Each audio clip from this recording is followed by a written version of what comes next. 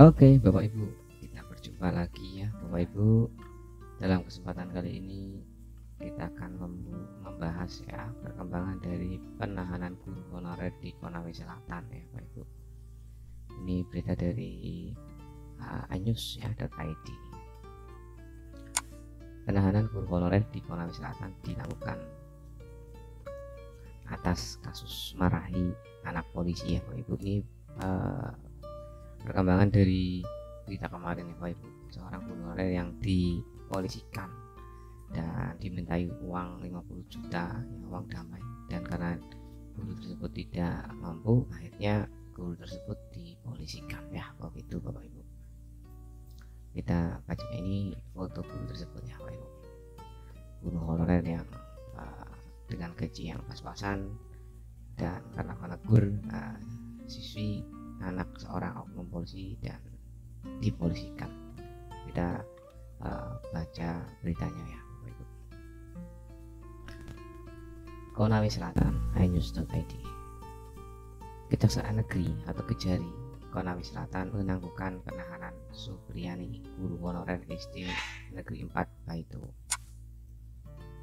yang dipenjara karena dituduh memarahi anak polisi. Ini Bapak Ibu Begitu keluar dari pintu tahanan, tangis haru Supriyani beserta keluarga dan rekan kerja sesama guru pun pecah tak terbendung Bapak Ibu.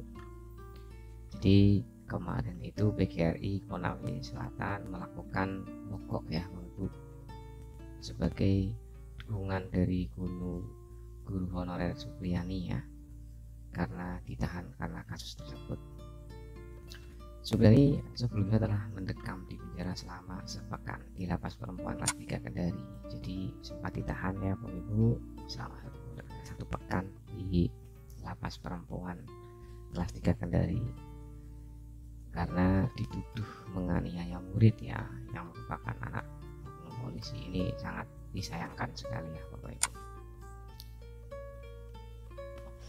Atas tuduhan tersebut, Supriyani dan kuasa hukumnya merasa keberatan. Menilai proses penahanan itu sangat jengkel. Ini sangat jengkel ya karena anak tersebut itu adalah anak dari uh, oknum polisi ya Pak Ibu. Sehingga ini uh, kasus penganiayaan ya ini rawan akan unsur-unsur tertentu ya Pak Ibu. Supriyani mengaku bersyukur akhirnya bisa keluar setelah sepekan di penjara ya Pak Ibu sudah sepekan ini uh, beliau Ibu Supriyani di penjara Bu. Alhamdulillah saya bersyukur bisa pulang ke rumah. Mudah-mudahan ada hikmahnya yang bisa saya dapatkan. Ucapnya dengan terisak. Ini dari kata-kata ini terlihat Ibu Supriyani ini sangat tabah sekali ya Bapak Ibu. Tidak menyalahkan siapa pun. Dia menganggap uh, bahwa kejadian ini merupakan uh, sebuah pengalaman ya Ibu